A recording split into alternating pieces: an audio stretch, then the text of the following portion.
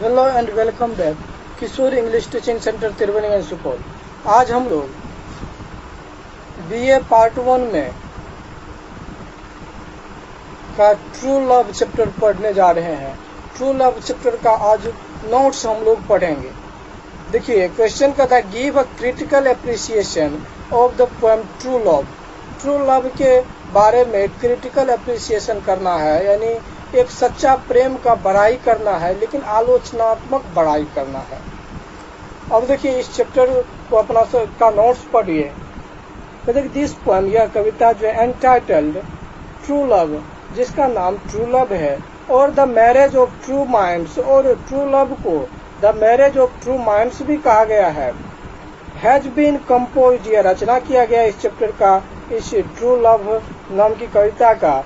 By the greatest English poet अंग्रेज़ी भाषा के महान कवि के द्वारा एंड ड्रामाटिस्ट और नाटककार विलियम शेक्सपियर के द्वारा। Shakespeare defines the identity of true love Shakespeare ji जो है डिफाइंस परिभाषित करते the identity infinitive infinity of true love की सच्चा प्यार जो है, को डिफाइन करते हैं। सच्चा प्यार को परिभाषित करते हैं शेक्सपियर जी। टू हिम उसके अनुसार, उनके अनुसार, शेक्सपियर जी के अनुसार marriage is not an impediment impediment means का बाधा। शेक्सपियर जी कहते हैं कि शादी बाधा नहीं है। To the way of true love सच्चे प्यार के मार्ग में शादी बाधा नहीं बन सकता है। True love is infinite infinite and never changes सच्चा प्रेम कभी भी नहीं बदलता है। And never changes and alters if an alteration is find finds alteration means हुआ कि एक तरह से आपको ये कि कोई एक ऑप्शन मान लीजिए कि ऑप्शन मिल जाए तो सच्चा प्यार नहीं बदल जाता है। ऑप्शन मीन्स हुआ कि मान लीजिए आप की, की पत्नी है उससे कोई सुंदर लड़की मिल गई महिला मिल गई आपको। ऐसा नहीं है कि उस महिला को देखने के बाद आपका प्रेम अब बदल जाता है या बदल जाएगा। It does not remove with the remover यह रिमूव नहीं हो सकता है, नहीं हट सकता रिमूवर से। यानी आशा नहीं है कि यदि अच्छा प्यार, अच्छी लड़की यदि मिल गई अपनी पत्नी से अच्छी तो फिर आपका प्यार बदल जाएगा। द पॉइंट लेखक जो है कंपेयर्स टू लव सच्चे प्यार का कंपेयर करते, तुलना करते हैं to a tower light tower light से।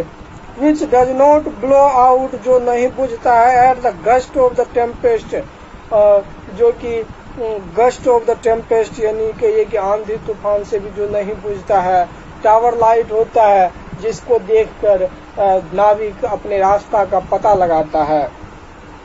It is static and nothing can shake it it is static वह टावर लाइट जो होता है वह स्टेटिक होता है स्थिर होता है and nothing can shake it इसको कोई हिला भी नहीं सकता है। अगेन द पोइट कंपेयर पुनः लेखक कंपेयर करते, तुलना करते ट्रू लव सच्चे प्यार का।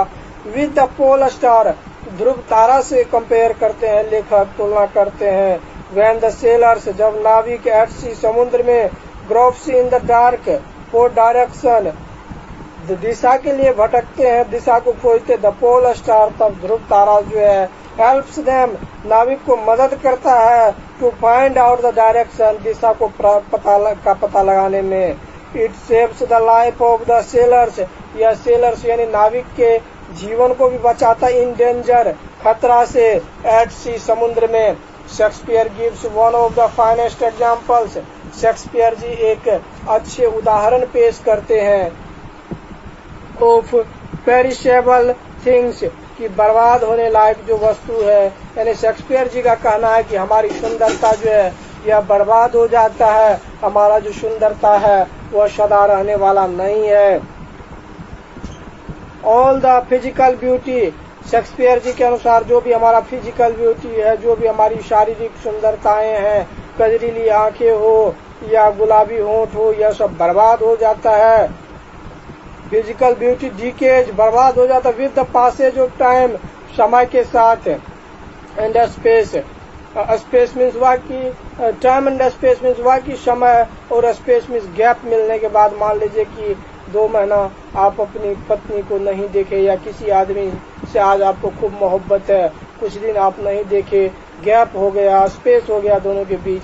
तो प्यार में थोड़ा थोड़ा खटास आ जाता है, बदल जाता है।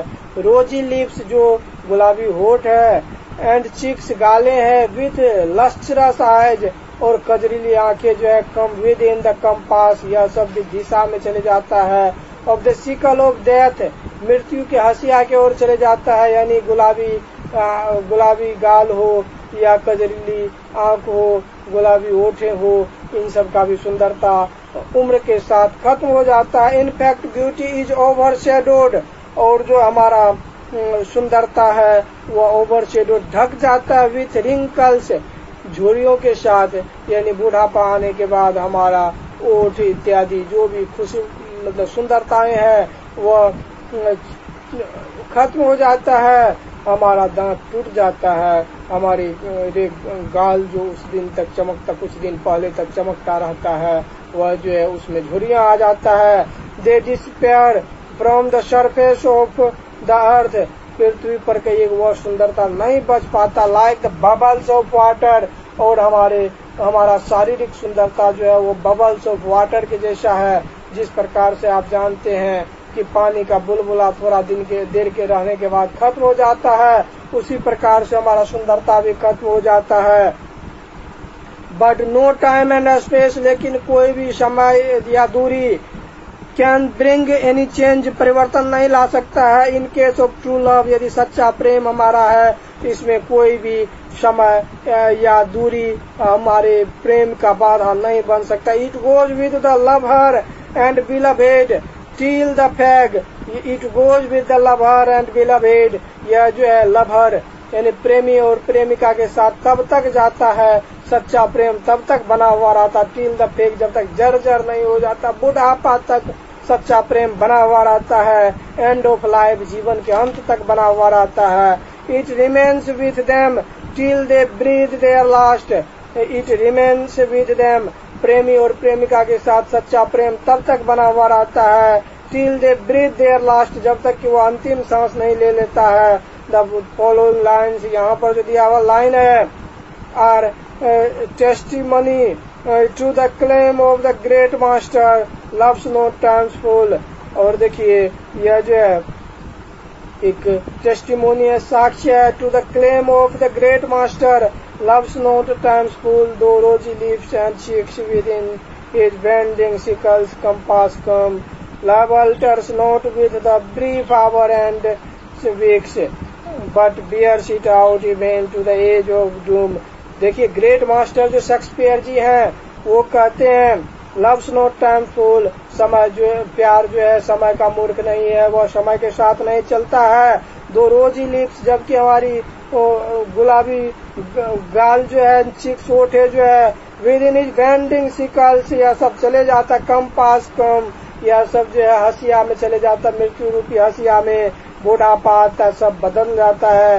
लव अल्टर्स यदि सच्चा प्यार नहीं हो तो प्यार बदल जाता है। Love alters not with his brief hours सच्चा प्यार है तो वह थोड़े समय में नहीं बदलता है एंड वीक्स थोड़े सप्ताह में नहीं बदलता but bears it out even to the edge of doom या एज ऑफ़ डूम यानी बर्बादी तक, सच्चा प्रेम यदि है तो हमारे बर्बादी तक, हमारे अंतिम समय तक यह हमारे साथ रहता है।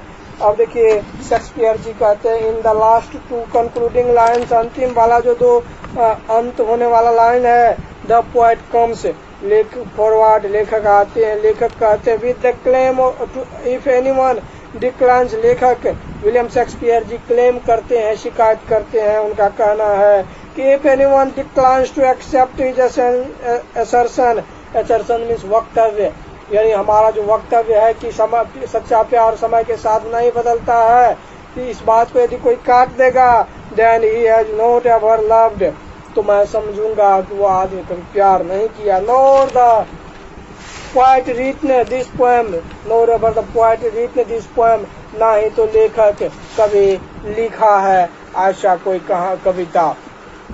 विलियम शेक्सपियर जी कहते हैं